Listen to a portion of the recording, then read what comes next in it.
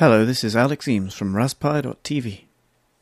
So today on the RasPi TV review bench, we have a new speaker which has been specifically designed for the Raspberry Pi by the Pi Hut. It's a single speaker and it's surprisingly powerful and surprisingly good quality for the price. It's only £12. You can fit a micro SD card in there with your MP3s on and use it as a standalone MP3 player if you want to.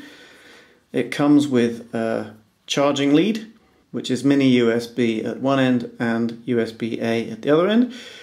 It also comes with a 3.5 millimeter jack to plug into your device, whether it's an MP3 player, a phone, a stereo system, a Raspberry Pi, or an HDMI Pi.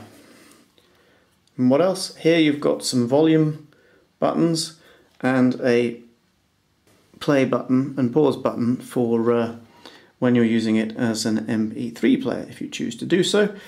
On the bottom you have an on-off switch. It has a battery inside that's supposedly good to power it for about 7 hours of use, which is pretty good. It's quite chunky. Let's see what it weighs.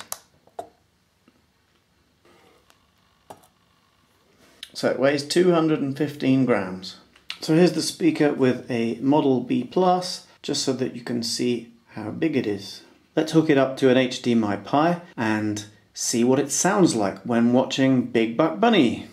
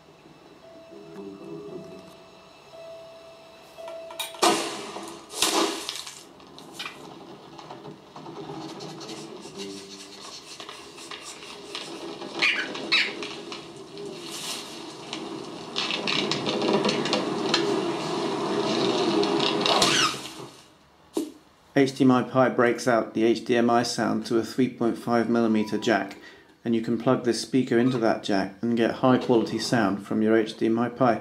The two products go together really really well. For £12 I think this is a brilliant way of adding sound to your Raspberry Pi whether you've got an HDMI Pi or not.